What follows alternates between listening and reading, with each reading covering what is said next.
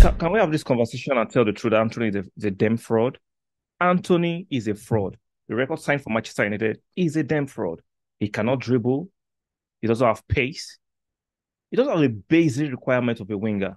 He, you can't go past your man. He can't even do his defensive duties. This guy has 12 appearances, three goals, same as Reece James. Oh, sorry, uh, Reiss Nelson of Arsenal.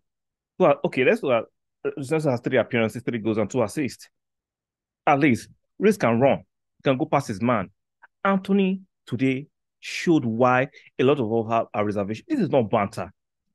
This is not banter Manchester United. Like, this is not me trying to gloat over the loss that they had. Like, what does Antony give to Manchester United? Mm-hmm. Yes, he scores some goals seldomly, but he's not scoring goals in buckets loads. He's not influencing games the way he should as a winger, as a record signing.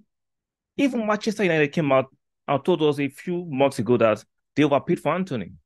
He's, he's a basic player. I don't even believe he's a native Brazilian. I think this guy is Lithuanian because Brazilians have that flair. They know how to dribble. This guy can't run. He can't dribble.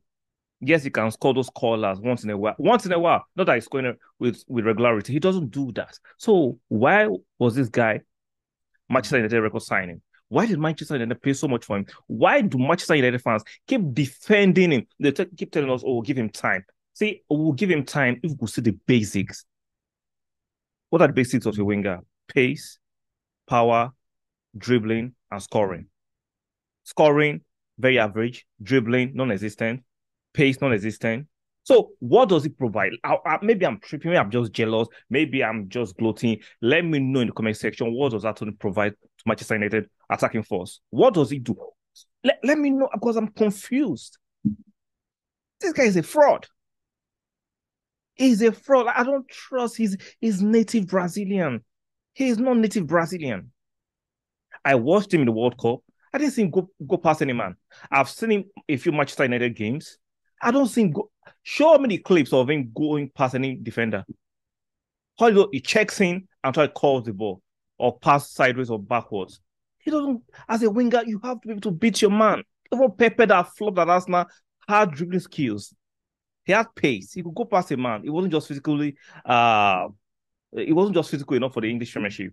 But Antony, he doesn't have this basic requirement of a winger. So, like I said, maybe I'm tripping. Show, show me the clip of him. If I can see one or two clips of Antony going past him, man, maybe I, I could retract my opinion on him. Like, share, subscribe, all those good stuff, and I'll see you on the next one.